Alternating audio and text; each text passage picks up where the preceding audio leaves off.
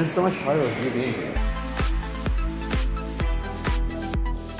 Okay, so for this episode of Before and After, we are doing splits, and I am with someone, and she doesn't want to be in the video. But uh, basically, her expectations are she's gonna expect some M Night twist, and that is what's gonna go down in a sense, because that's sort of the thing that blew up about the film. Everyone's like, "Oh, this is crazy twist" or what have you.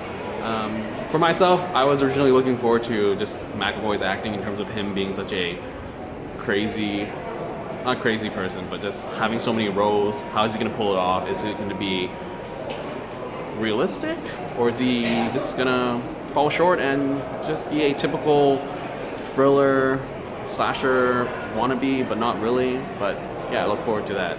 So anyway, so this is before and this is after. So she enjoyed it, I enjoyed it. It was interesting. Um, though definitely I have read a book that dealt with this whole split personality thing and how they sort of portrayed it was very similar to the book, but it's more of an intense sort of thriller, whereas that book was more of a drama and sort of dealing with this thing.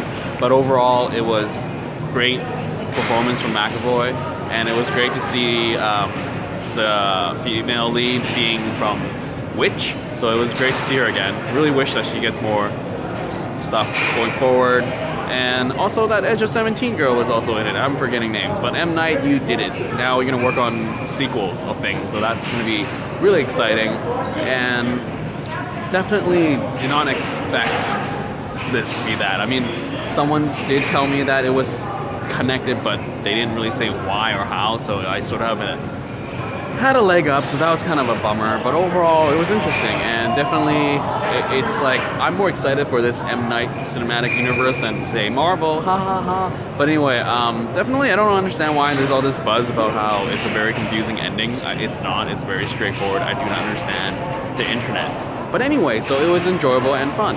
And there's also that controversy about the whole split personality thing, and maybe some of you might are not gonna watch it because of that. But definitely, it's not anything to do with specifically a movie to demonize people with multiple personality disorders or whatever politically correct uh, label they have nowadays. I don't know. I'm not informed, and that's sad. But anyway, so yeah, check it out. It's a great performance from McAvoy, and M Night has back, which is really surprising. When this movie was first trailered out, I was like, oh gosh, he's coming out with a movie. But with McAvoy playing this stuff, it might be good. It might be good, and it's actually not bad.